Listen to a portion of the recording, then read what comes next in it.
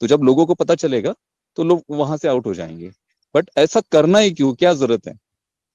आप इस कंपनी में, आप कितना बड़ा जो भी है इंडिया में जो भी जिन्होंने किया, आप कितना बड़ा नुकसान आपने कर लिया अपना? यहाँ पे यहाँ पे आपके लाइफ की, आपके पूरे आने वाले जनरेशन को सेटल करने की बात कर रहे हैं, मिस्टर ऐश। और आप एक छोटी सी चीज़ लेकर बैठे हो। तो ऐसे तो थॉट्स आने ही नहीं चाहिए माइंड में। और ये ये जो रास्ते हैं ना, जो किसी ने एप्लीकेशन बना ली और वहाँ से लीड जनरेट कर ली, वहाँ से कुछ कर लिया, ये वर्क नहीं करती है।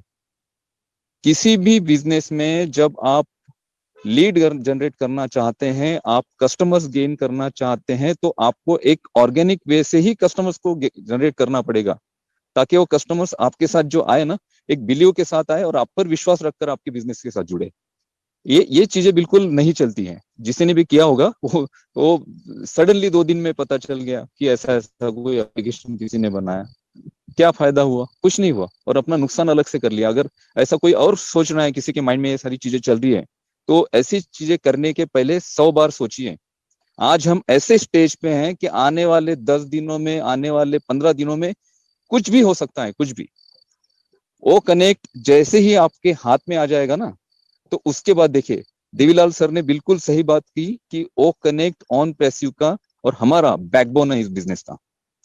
और ओ कनेक्ट एक ऐसा प्रोडक्ट है कि जिसमें बहुत ज़्यादा कंपनी को भी पता है कि ओ कनेक्ट ऐसा प्रोडक्ट होगा कि जहाँ से हम सबसे ज़्यादा ट्रैफ़िक भी गेन गेन करेंगे। एंगेजमेंट जो, अभी जितने एंगेजमेंट्स हम नहीं बढ़ा पा रहे, उतने एंगेजमेंट्स भी हम ओ कनेक्ट के थ्रू बढ़ाएँगे। तो ओ कनेक्ट को बहुत सीरियसली लिया जा रहा है। ओ कनेक्ट के छोटी सी छोटी टेक्निकल चीज़ों को चेक किया जा रहा है और उसके बाद ही वो कनेक्ट आएगा। और वो कनेक्ट आने में ज़्यादा से ज़्यादा ऐश ने कहा कि हम सिर्फ़ एक एक वीक डिले चल रहे, एक वीक एक हफ़्ता हम पीछे चल रहे, इसके ऊपर कुछ नहीं चल रहा। है और टेक्निकली ये सारी चीज़ें जब होती है ना, और अभी ये जो चीज़ें चल रही हैं, जैसे किसी का अकाउंट नहीं बन रहा है या फिर किसी को जो दिक्कतें आई, ये एक्चुअली ये प्रिपेरेशन था पूरा। और ये सारी चीज़ें हमारे साथ क्यों हुई? अरे हम फाउंडर्स हैं, हम बीटा टेस्टर हैं। हमारे साथ ही तो ये चीज़ें होगी ना, जो जो चीज़ें दिक्कतें आएगी, वो उसका, उन दिक्कतों का पता सबसे पहले कैसे चलेगा? किसको चलेगा? हमें ही चलेगा, क्योंकि हम बीटा टेस्टर है तो टेस्टिंग किस पे होगी? हम पे ही होगी। हम पे ये सारी चीज़ें टेस्ट की गई। और ये जो सारी चीज़ें हुई है अभी तक, ये इतने अच्छे लेवल से हुई हैं, और ऑन पैसिव अपने मार्केटिंग कैंपेनिंग को लेकर सीरियस है ऑन पैसिव अपने बिज़नेस को लेकर सीरियस है, और ऑन पैसिव अपने फाउंडर्स के प्रति भी सीरियस है और जो लोग गलत कर रहे हैं उनके प्रति भी बहुत ज़्यादा सीरियस है।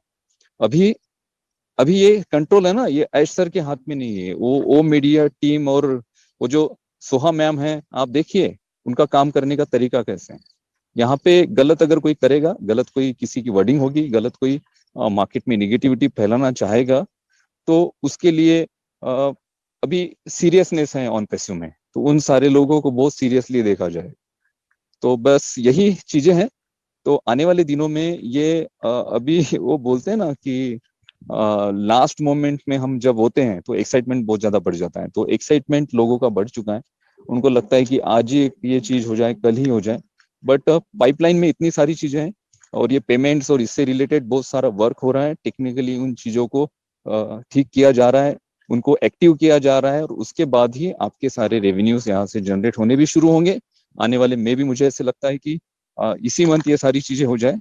तो बिल्कुल दोस्तों जैसे हम पिछले ढाई सालों से, तीन सालों से ऑन पैसे में जुड़े हैं वैसे ही उसी ऊर्जा के साथ, उसी एनर्जी के साथ कंपनी के साथ हमें अभी डट के खड़े रहना है, क्योंकि अब हम ऐसे सिचुएशन पे हैं कि जहाँ से हम, हमारे सपनों को वाकई पूरे, पूरा करेंगे। Thank you so much so much वो to Ajay ji. Thank you so much Anoop sir wow wow wow वो कहते हैं ना कि आवाज़ ही पहचान है। तो लेडीज़ एंड जेंटलमैन आप अभी इंडियन टेकमैन को इनक्रेडिबल इंडिया की इस मंच से सुन पा रहे थे और बहुत ही साफ़ और स्पष्ट शब्द उन्होंने उन्होंने जो आज पिछले हमारे कॉर्पोरेट वेबिनार की अपडेट्स रही है, उनको एनालाइज किया और आप सभी लोगों के बीच में प्रस्तुत किया है। तो thank you so much Anoop sir और अगर रोहित भाई हमारे बीच मौजूद हैं तो मैं रिक्वेस्ट करूँगा रोहित भाई से कि आगे की कार्यवाही रोहित भाई संचालित करें और फ़िलहाल चलते हैं। डॉक्टर एल डी भगत हमारे बीच मौजूद हैं और एलडी सर डेफिनेटली आपने भी कुछ ना कुछ एनालिसिस कल किया होगा और आपके पिटारे में भी हमारे लिए डेफिनेटली कुछ ना कुछ आज ज़रूर होगा। तो स्वागत है डॉक्टर साहब आपका और अगली आवाज़ लेडीज़ एंड जेंटलमैन अतुल्य भारत के इस मन से, अतुल्य हमारे doctor L T Bhagat sir की। भगत सर, स्वागत है आपका। Thank you Ajay ji. सबको नमस्कार। बिल्कुल आपने सही कहा, हमारे, यहाँ पर जितने भी लीडर्स अभी तक आए, हमारे जसी सर हमारे चौहान सर हैं हमारे टेकमैन इंडियन टेकमैन सभी ने अपने अपने तरीके से जो कल के अपडेट्स को हमारे सामने रखा तो बिल्कुल सही बात यह है और बहुत सिंपल वर्ड्स में यही हमें सबको ये कहना है कि जो कुछ भी कल वेबिनार में हुआ है ना तो हमें उससे कुछ सीखना चाहिए। जैसे वहाँ पर जो एप्लीकेशंस की बात की गई, कुछ ना कुछ सेल्फिशनेस लोगों में होती है। हमें लॉयल रहना है कंपनी के बारे में, क्योंकि हमें पता है हम यहाँ पर क्यों हैं।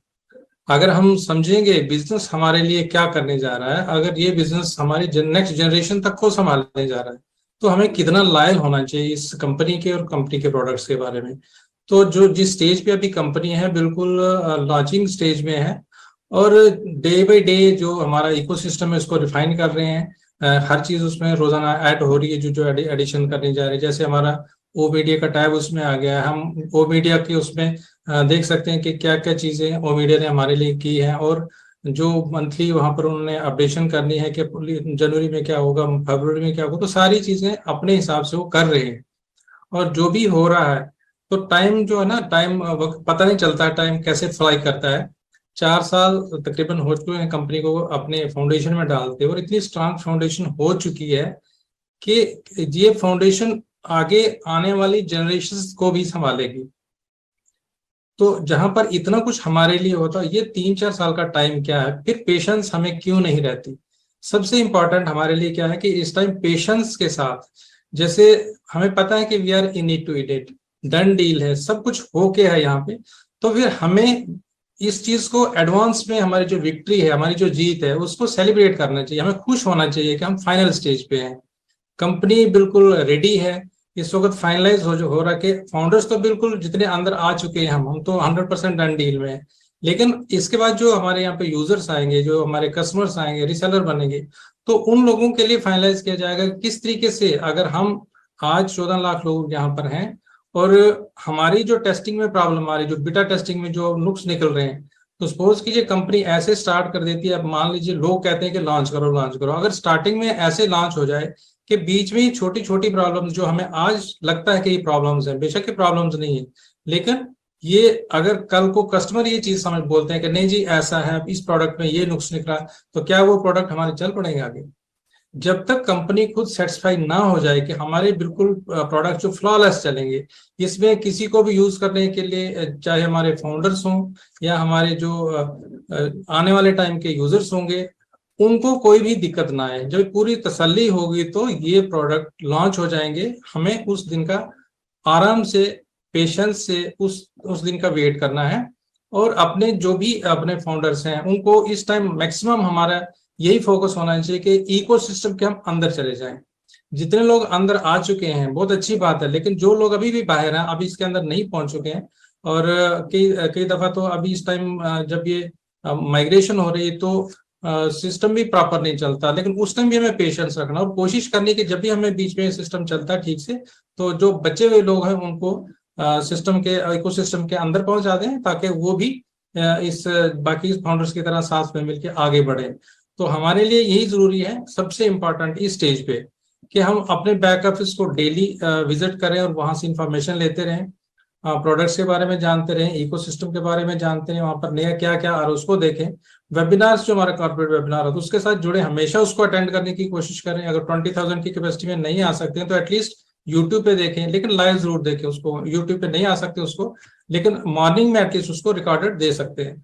और अपडेट्स जो भी लीडर्स दे रहे हैं हमें यहाँ पर जिन्होंने वेबिनार्स को देखा है लाइव देखा है तो वही चीज़ यहाँ पर बोली जाएगी, यहाँ पर गलत नहीं बोला जाएगा, कोई रॉन्ग इन्फॉर्मेशन आगे शेयर नहीं की जाएगी।